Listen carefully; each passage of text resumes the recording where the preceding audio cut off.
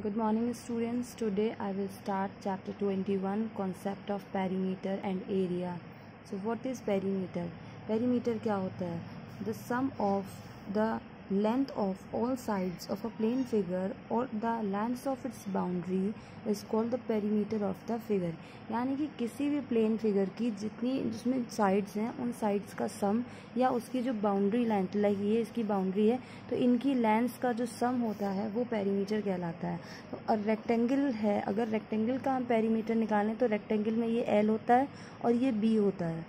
यानी ये लेंथ और ये ब्रेथ इसको विथ भी कहते हैं W I D T H और ब्रेथ भी कहते हैं।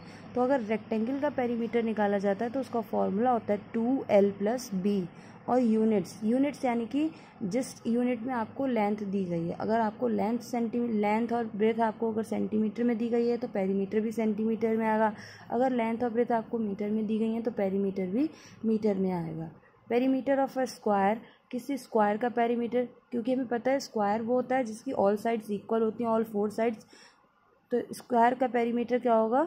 फोर इंटू साइड्स और ये भी यूनिट्स में आएगा, यानी कि जिस भी यूनिट में साइड दे रखी होगी, वो चाहे सेंटीमीटर में होगी तो सेंटीमीटर में आएगा मीटर में होगी तो मीटर में आएगा.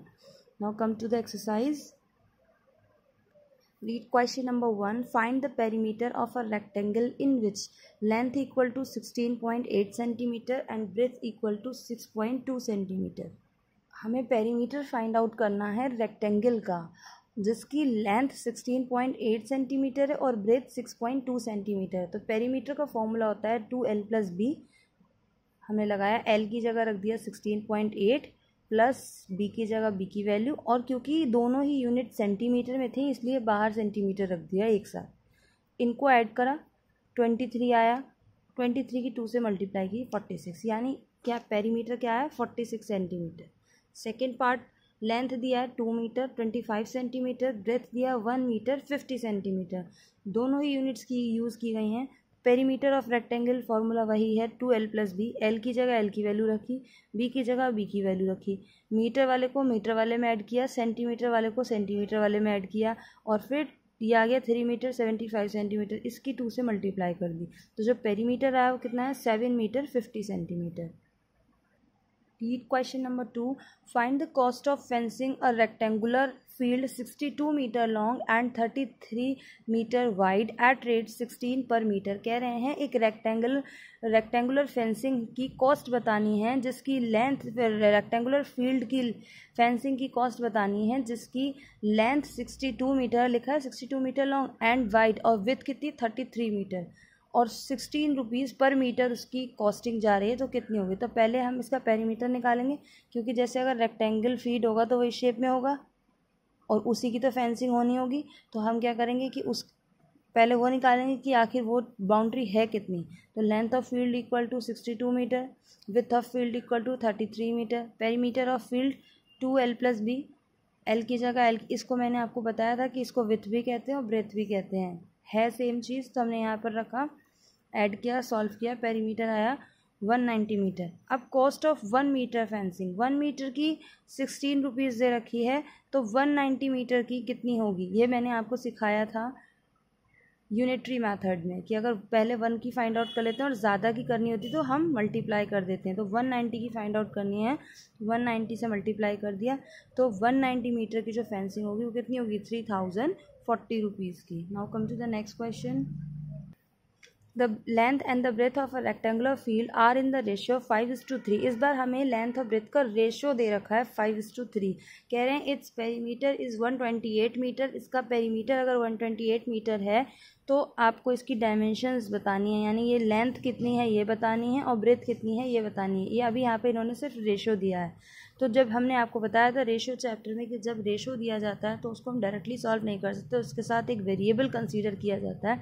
तो वही हमने जो ratio of length and breadth था, वो लिखा। अब यहाँ से लेंथ अगर आप निकालेंगे, केवल लेंथ तो लेंथ इक्वल टू अब इसके साथ एक वेरिएबल आएगा तो फाइव एक्स हमने कंसीडर किया कि ये मीटर में है, क्योंकि हमें यहाँ इन्होंने दे रखा था पेरीमीटर जो है वो मीटर में है, इसलिए ये मीटर में ही आएगी। इसके बाद ब्रेथ निकाली three x metre perimeter of rectangular field इन्होंने हमें दिया है वन ट्वेंटी एट मीटर हमने लिख दिया। इसके नीचे हमने फॉर्मूला लगाया जो होता है टू एल प्लस बी यहाँ पर एल की जगह एल की वैल्यू रखी, जो ये है बी की जगह वी की वैल्यू रखी।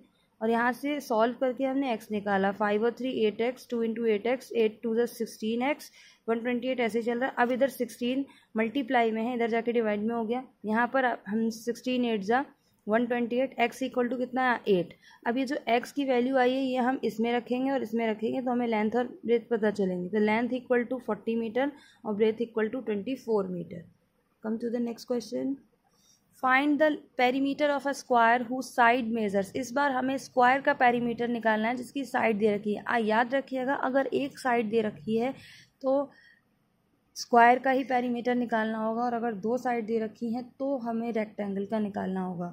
क्योंकि जो एक साइड होती है, अगर एक साइड देते हैं तो वो स्क्वायर की देते हैं, क्योंकि स्क्वायर में फोर साइड्स इक्वल होती हैं। थ्री पॉइंट एट सेंटीमीटर दे रखा है तो perimeter of square four into side होता है तो फोर इंटू साइड लगाया और इसकी मल्टीप्लाई कर दी। सेम अनदर एग्ज़ाम्पल अब कह रहे हैं find the perimeter of a triangle of sides triangle दिया है और ट्राइंगल की साइड्स दी गई हैं। हमने बताया था आपको कि पेरीमीटर क्या होता है, किसी भी साइड, किसी भी फिगर की ऑल साइड्स का सम पेरीमीटर कहलाता है, क्योंकि ट्राइंगल है तो उसमें कितनी साइड्स होंगी? थ्री साइड्स होंगी। तो perimeter of triangle equal to sum of three sides तीनों साइड्स को ऐड कर देंगे, तीनों साइड की लेंथ आपको दे रखी है। इनको ऐड कर दीजिए, यही इसका पेरीमीटर है।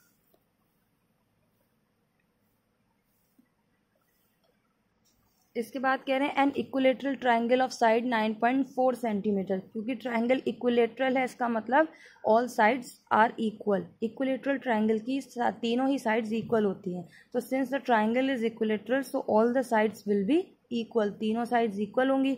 इसलिए पेरीमीटर क्या होगा? थ्री इंटू साइड्स यानी जब, जैसे स्क्वायर में होता है कि वो फोर साइड्स इक्वल होती हैं तो फोर इंटू साइड होता है। ऐसे ही ट्राइंगल में अगर तीनों साइड इक्वल होंगी तो थ्री इंटू साइड्स तो three into nine point four multiply कर दिया आंसर आ गया। An isosceles triangle with equal sides eight point five centimetre and third side seven centimetre isosceles triangle होता है तो उसमें टू साइड्स इक्वल होती हैं। तो हमने लिखा since the triangle is isosceles so two sides will be equal अब इन्होंने बोला टू साइड्स इक्वल हैं, और बोला भी है कि विद इक्वल साइड्स तो two sides eight point five, eight point five होंगे और थर्ड साइड क्या है? सेवन सेंटीमीटर तो perimeter of आइसोस्कल triangle sum of three sides तीनों साइड्स को ऐड कर दिया और सम आ गया। यही पेरीमीटर है। Now find the perimeter of a regular pentagon of side eight centimetre क्योंकि पेंटागन रेगुलर है, इसका मतलब जो डिवाइडिंग है वो इक्वली है। पेंटागन है, यानी कि कितनी साइड्स होनी चाहिए? फाइव तो perimeter of regular pentagon five into sides all sides equal होंगी रेगुलर है इसलिए। फाइव इंटू साइड्स मल्टीप्लाई कर दिया।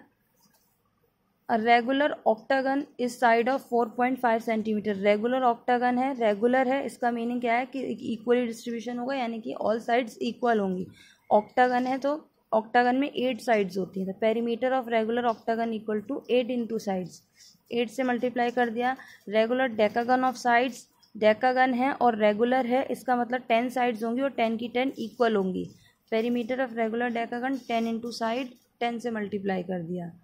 Now next question find the perimeter of each of the following figure दे रखा है आपको पेरीमीटर फाइंड आउट करना है। तो जो भी हमें फिगर दिया जाता है, उसकी जितनी साइड्स होती हैं, उन सबको ऐड कर लेते हैं। तो perimeter of the given figure इन सबको हमने ऐड कर लिया। यही इसका पेरीमीटर है। सेकेंड पार्ट में देखिए रोम्बस दे रखा है। रोम्बस में फोर साइड्स हैं और फोर की फोर इक्वल हैं तो सम ऑफ़ ऑल साइड्स सबको ऐड कर दिया पेरीमीटर आ गया। नेक्स्ट फिगर में देखिए, जो भी हमें साइड्स दे रखी हैं, ये ट्वेल्व है, ये ट्वेल्व है, ये फोर है, ये फोर है, ये सिक्सटीन है, ये सिक्सटीन है, ये एट है। इसका आपको पेरीमीटर निकालना है तो पेरीमीटर ऑफ़ गिवन फिगर जो फिगर दिए, सारी साइड्स को हमने इक्वल कर दिया।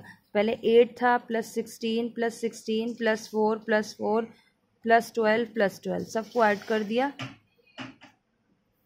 तो आ गया सेवेंटी टू सेंटीमीटर यही पैरीमीटर है।